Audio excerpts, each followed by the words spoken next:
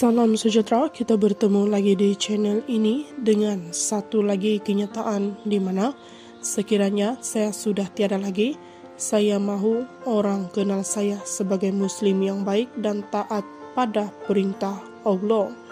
Video podcast Borak Dulu Baru Makamu yang dihostkan oleh Ubay bersama tetamunya pelakon Fatamin kembali menjadi viral di media sosial. Menerusi video tersebut, Fata sempat berkongsi mengenai apa yang dia mahu orang lain ingat sekiranya dia sudah tiada lagi di dunia ini. Menurut Bapak kepada seorang cahaya mata ini, dia mahu semua orang mengenali sebagai orang muslim yang baik dan taat pada perintah Allah. Pada masa sama, dia mahu menjadi seorang insan, bapak dan suami yang baik buat istri dan anak-anaknya, Bukan itu saja, Fata turut berkata dia mahu menjadi seorang artis yang menunjukkan tauladan yang baik kepada peminat. Katanya lagi, soalan itu sangat deep apa yang saya nak orang ingat dan apa kenang.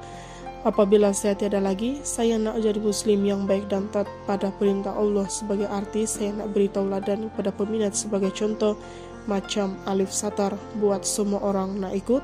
Di soal mengenai nasihat yang terbaik pernah diterima sepanjang kehidupan, Fatah secara ringkas menjawab, ayahnya sentiasa memberi nasihat mengenai sholat, jangan tinggal.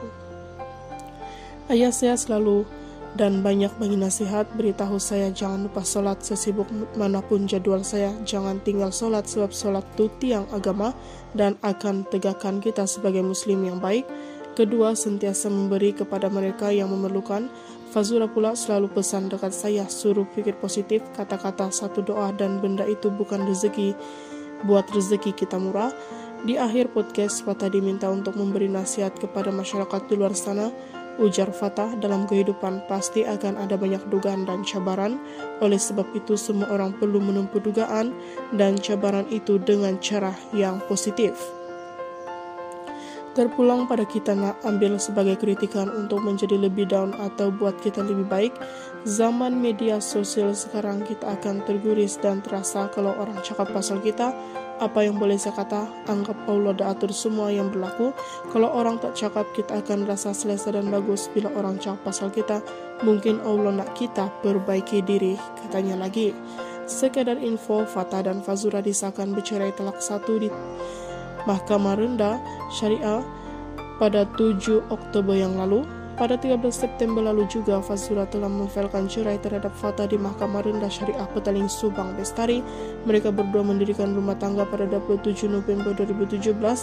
Hasil perkawinan mereka dikaruniakan seorang cahaya mata perempuan yaitu Nur Fatimah Aisyah. Itu saja info hari ini. Sekian dan terima kasih.